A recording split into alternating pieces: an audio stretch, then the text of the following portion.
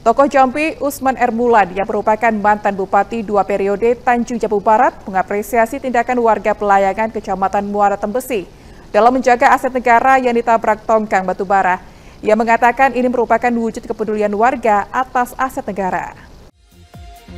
Aksi blokade hingga dilemparnya molotov pada takut pembawa tongkang batubara hingga nyaris terbakar oleh warga menjadi perhatian publik. Tidak terkecuali tokoh Jambi Usman Ermulan yang mengapresiasi langkah yang dilakukan warga pelayangan. Dijelaskan Usman, langkah yang dibuat warga merupakan wujud menjaga aset negara yang merupakan urat nadi jalan lintas nasional hingga sampai ke Provinsi Nanggro Aceh Darussalam.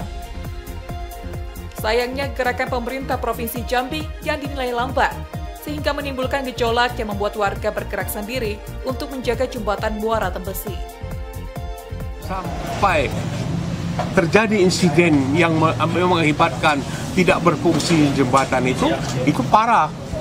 Akibatnya parah. Kemudian Muara Tembesi juga. Akhirnya masyarakat yang bertindak karena pemerintah lalai dalam masalah ini. Ya. Saya acung jempol juga masyarakat itu kalau dia bertindak untuk keselamatan uh, daerah-daerah di ulu uh, di atas provinsi Jambi ini ya. sampai ke Aceh itu. Langkah yang perlu diambil, batu bara perlu, kita untuk melanjutkan ekspor ini.